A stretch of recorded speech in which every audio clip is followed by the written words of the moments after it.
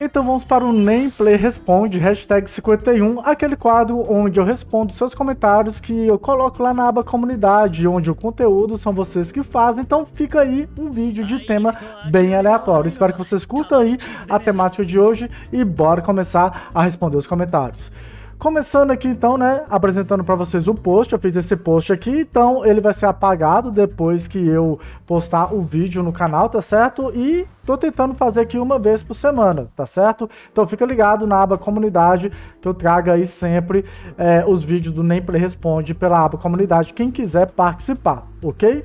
Começando aqui pelo Clayton. Decepção do Kaiser e Cagarro faz com que possamos guardar recursos para o aniversário. No entanto, os dois aniversários anteriores não agradaram muito. Então, qual seria o personagem que talvez possa criar um hype? O que você espera do aniversário?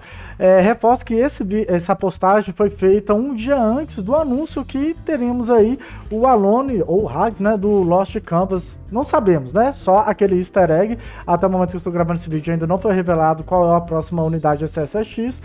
Mas assim, já foi revelado e vai ser o Alone, caso seja. O Hags eu acho que vai ser um, um, personagem muito bem hypado, porque, pô, é um dos principais personagens aí da saga Lost Canvas e escolheram bem para o próximo aniversário. O próximo foi o Drigo. E aí, Ney, com toda essa sequência de 90% dos lançamentos esse ano serem personagens de Lost Canvas e ainda tendo muitas coisas para chegar, você acha que a Tencent continuará nessa estratégia de né, ficar lançando aí Lost Canvas? Acredito que sim, né? Como eu já disse aí em gameplays anteriores, é, tem muito personagem para lançar no Lost Canvas. Tipo, a lore da saga clássica já tem mais de 90%, o Next Dimension também já tem aí uns 70%, porém, do Lost Canvas não tem nem 50% dos personagens da história. E acredito que é por isso que eles estão também é, incluindo mais personagens. Porque até mesmo se algum fã de Cavaleiro do Zodíaco chegar para começar a jogar o Sanctuary Awakening, ele vai ver que vai ter a maioria dos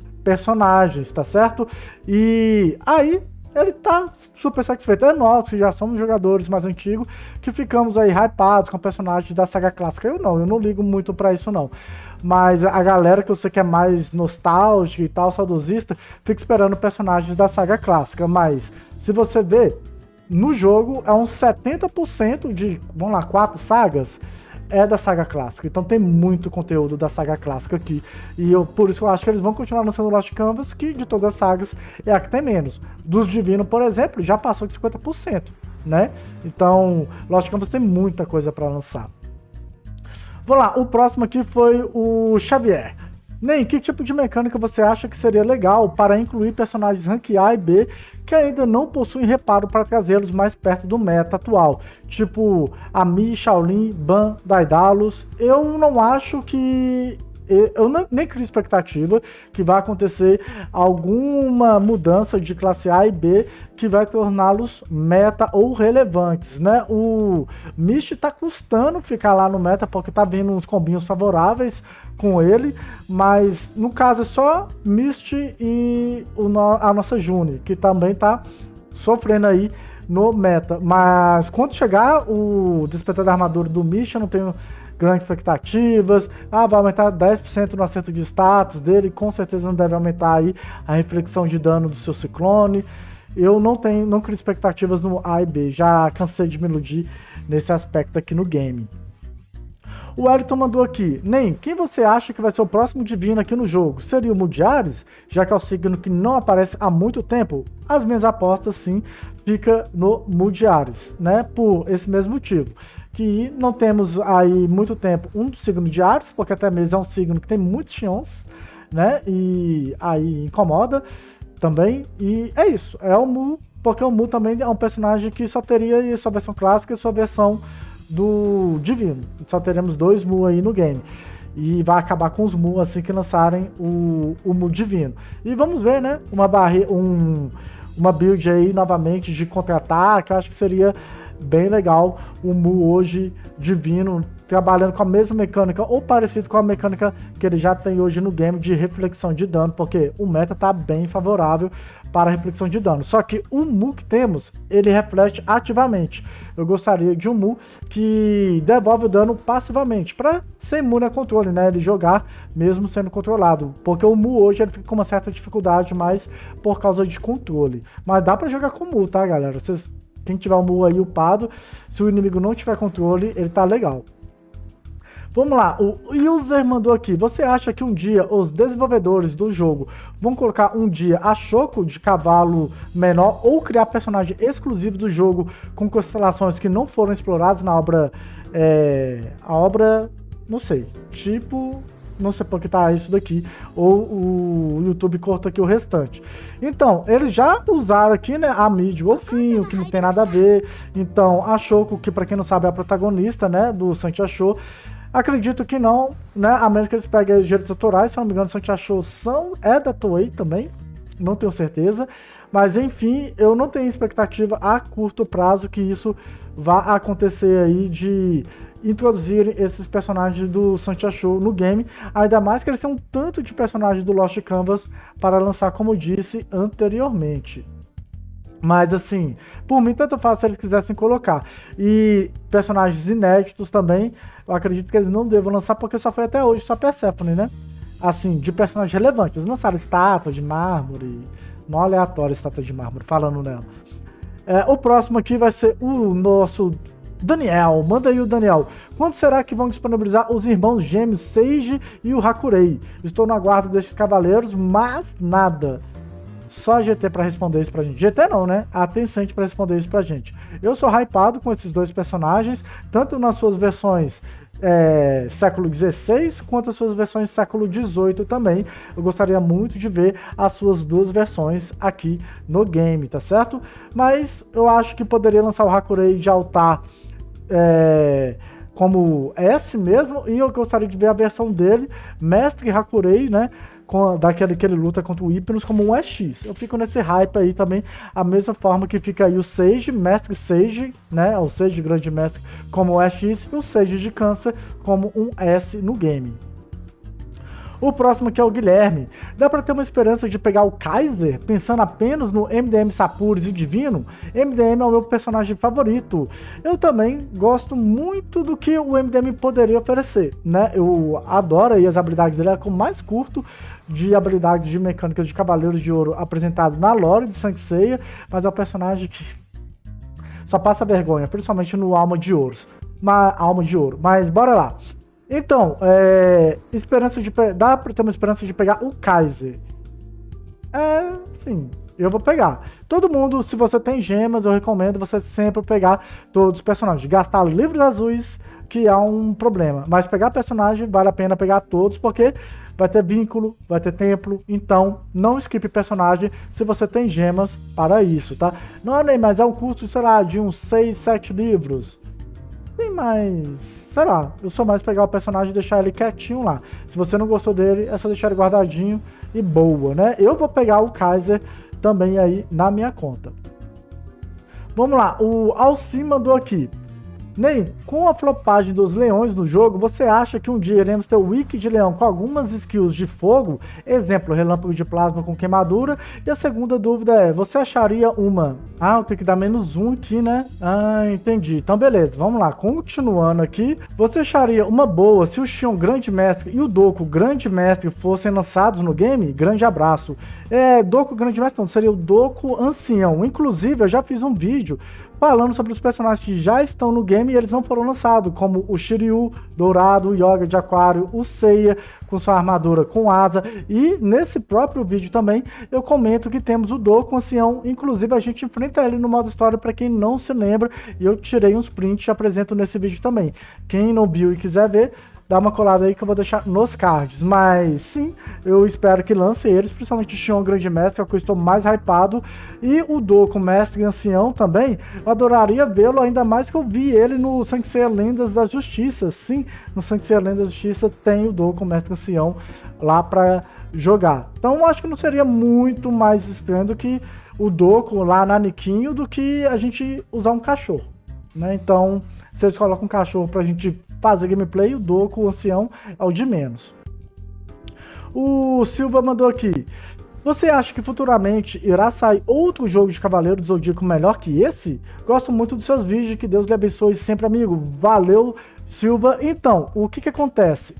A algum momento pode sair aí uma versão 2.0 desse game, o mais interessante, eu acho muito difícil. De todos os gatos que eu já joguei que tem PVP, né? Igual agora, estou lá no meu outro canal jogando Honkai Star Rail. O jogo é incrível, mas ele não tem PVP, ele é somente PVE. Inclusive, quem quiser jogar ele, ó, tem várias dicas lá no canal e é um jogo realmente muito bom e é de turnos também. Mas o PVP, as habilidades aqui do Sanctuary Awakening é um diferencial vai acontecer do quê? Lançar talvez algum novo jogo de Cavaleiro do Zodíaco, a gente enjoar desse e migrar para o outro. Mas superar esse vai ser muito difícil. Realmente, a, o PVP desse jogo, as habilidades desse jogo, a mecânica do banimento é muito, muito legal mesmo. Infelizmente ele tem aquele lance de pay to win. Não que eu tenha muita expectativa de algum outro jogo gratuito não tiver mecânicas pay to win também, né? Mas tirando essa parte, eu acho ele muito bom e difícil de ser superado. Eu posso até parar de jogar e lembrar futuramente, nossa, como Sanctuary Awakening é no jogo bem acima da média aí de celular, né? De RPG de turno e tal. Igual, por exemplo, tem o eu já postei no meu outro canal Metal Revolution, que é um jogo de luta, estilo Street Fighter, Mortal Kombat aí, da era Super Nintendo. É muito bom, o jogo é muito da hora mesmo. Ah, lançava um personagem a cada três meses. É. Tinha atualização a cada um mês e meio. Era assim, mas o jogo era muito bom. Joguei ele lá um, dois meses parei de jogar, mas o jogo não deixou de ser bom só porque eu parei de jogar. É o que vai acontecer um dia no Sanctuary Awakening quando vocês me largarem aqui e aí eu vou parar de fazer vídeo porque não vai ter visualizações que irão me pagar. É, continuando, teremos aí o. Respondendo aqui o Marcelo. Você acha que o com o CR do Caim, com ajustes feitos no Hags recentemente e com a muito provável chegada do Alone Lost Canvas, a GT tá querendo mudar o jogo para meta de revive barra sobrevivência por conta dos atacantes em área do meta atual. Qual cavaleiro que você acha que pode vir nos últimos meses do ano? Então, é, aqui eu não sei, porque já especular as habilidades do Alone tá um pouquinho ainda meio longe. Acredito que eles vão informar as habilidades do Alone semana que vem, né? Que ele deve chegar aí no servidor de teste. Talvez saia alguma coisa antecipada aí nas notas de atualização pra gente, mas eu acho que é indiferente aí essa mecânica de revive também. É, mas porque o PVP tá muito rápido, né? Essas builds muito rápido, eu acho que a Tencent está querendo frear um pouquinho esse PVP que está muito mais do mesmo, né? De vários builds tentando vencer aí na roda da 1, então Caim veio para dar uma freada, né? O Hags que ninguém vai usar, né? veio aí para dar uma freada também, porque até mesmo ele ativar o grande eclipse ele pode já ter sido falecido, né? Então vamos ver como que o Alone vai trabalhar e como a gente já sabe que o Kaiser e o Cagarro, eles não vão servir quanto a isso, inclusive o Cagarro, ele tá nas builds de ganhar na roda da 1, é, eu vou deixar o vídeo nos cards aí do Cagarro para quem não viu. Referente aos cavaleiros que podem chegar aí no final do ano, sem muitas expectativas. Eu espero que possa aparecer aí algum divino, como o Mu, já citado aqui também. Algum dos cavaleiros Sapuri, como o Camus e o MDM, que está faltando aí pra gente também. A minha expectativa é essa: pensar em algum personagem do Next Dimension ou do nosso Lost Canvas.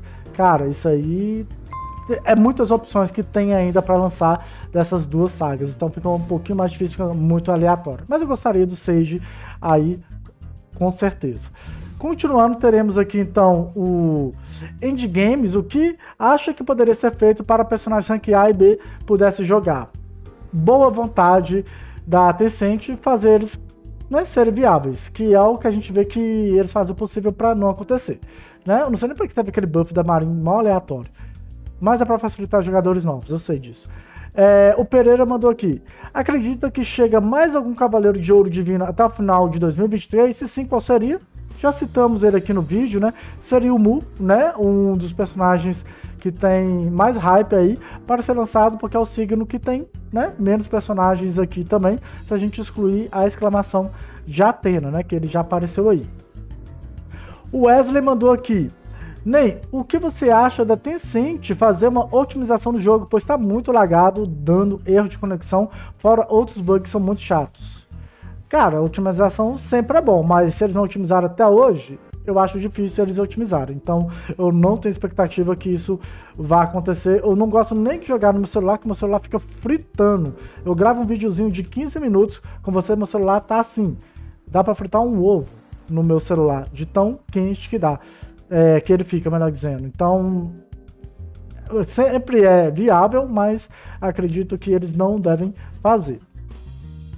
O João mandou aqui, nem você acha que seria bom lançarem um personagem no estilo do Jabu de unicórnio, aquela pegada de você finalizar o cara, repetir a habilidade e se matar outro repetir de novo, assim sucessivamente, mas o personagem bem mais forte, temos na verdade o Shura Sapuri, né? Ele tem essa mecânica aí e temos o Card que também compartilha essa mecânica. Só que eles são um álbum único, Jabu é em área. Então, para substituir o Jabu, somente um Jabu divino. Se não for Jabu divino, eu nem faço questão. E agora nós vamos para o Saga, cara, o Saga tá aqui para comentar no nosso canal. Porque você acha que os chineses não estão usando o cagarro? Por um tipo de protesto, por terem feito o Kaiser Flop, já que não tem sentido os peitinhos da China não o cagarro, pois ele é um ótimo DPS. Eles estão upando o cagarro, eles estão pegando, na hora que eu vou procurando gameplay para essa fotinha, né, do capitão e vejo os capitães cagarro de skin, ou seja, ainda compraram a skin do personagem, é adesão mesmo, alguma coisa está acontecendo com a galera, não está gostando dele. É por ele ser papel, é por ele tá tem que fazer uma, um combo OP de 5 de energia, que é Lune, Sagsapuri e o próprio Cagarro, né? E 5 de energia é bem puxado. Talvez possa ser isso, além do Thanatos e a Serafino também, que incomoda caso né, o inimigo tanca aí também. Então vai tomar bastante ataque Tanato, do casal Barrinha, né? Que é Tanato Serafino. Isso aí é somente especulação, vou ter que sentir na pele aqui no global, porque eu não tenho muitas amostragens para apresentar para vocês, além das duas replays que tem no vídeo do Cagarro que eu postei aqui para vocês, tá? Então, tirando isso, somente vendo aí no global quando ele chegar. É, e agora nós temos aqui o Rodrigo. Com esse lançamento de personagens flops, você acha que o SS ou SG aniversário pode acabar vindo roubado demais, tipo Thanatos e Artemis? Essa é a expectativa, sendo que a própria Pasta, ela também não é um personagem ruim, a Serafina não é um personagem ruim, o Oneiros não é um personagem ruim, tá? Então eles estão muito acima da média e por ter esses personagens que estão flopando um pouquinho mais no meta, a expectativa fica ainda mais alta para eles, né, venderem mais. Não que eu acho que o Cagarro vai flopar no servidor global, igual tá flopado aí no servidor chinês. Eu tenho boas expectativas que o Cagarro vai dar uma mitada aí pontualmente. O Kaiser não, o Kaiser realmente não tem expectativa não. Nem a GT tem expectativa no Kaiser, né? Como já relatei aqui no canal. É, temos aqui o. Nossa, Adelabujanra 989. 99 mandou aqui. Alguém sabe se o Shuri está bugando o último ataque? Se ele tá falando do Sapuri, tá acontecendo às vezes do meu Shuri Sapuri eu dar um hit kill no inimigo com sangramento e ele não dá o outro ataque. Bem aleatório assim, às vezes dá, às vezes não. Agora se for com Shuri Divino, pra mim, por enquanto, não percebi nenhum bug no, no Divino. Agora o Shuri Sapuri, tá, às vezes tá dando esse, esses essas alternâncias aí. Às vezes tá de boa vontade, às vezes não.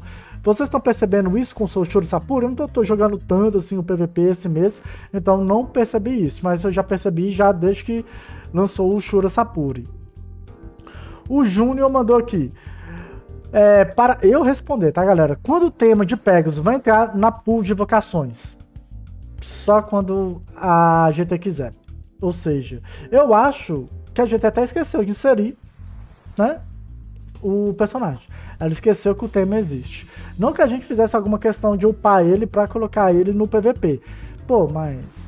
Né, a gente já tem todos bem upado, né? Vamos pegar cópias do dele aí para melhorar a nossa vontade estelar, né? Nem sei se você tá na vontade estelar.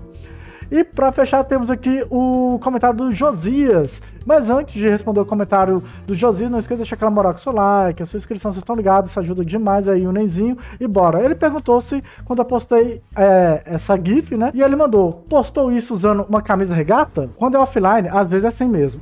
Não Então é isso, Cavaleiros Amazonas. Esse foi mais um Nameplay Responde de hoje. Teve bastante comentários, né? Eu pensei em fazer em dois vídeos, mas vamos fazer um vídeo longo. Se no próximo Nameplay Responde tiver bastante comentários, quem sabe eu faço aí em duas partes. Teremos aí dois vídeos respondendo comentários na semana, beleza? Então é isso, galera. Vou ficando por aqui. Talvez eu já tenha, se for o sexto ou sábado que eu postei esse vídeo, eu já vou postar lá na aba comunidade o Nameplay Responde da próxima semana. Então fica ligado, dá uma colada lá que vai estar tá lá a publicação para vocês participarem do nosso próximo Nem Responde. Vou ficando por aqui e esse vídeo já tá longo demais. Valeu e fui!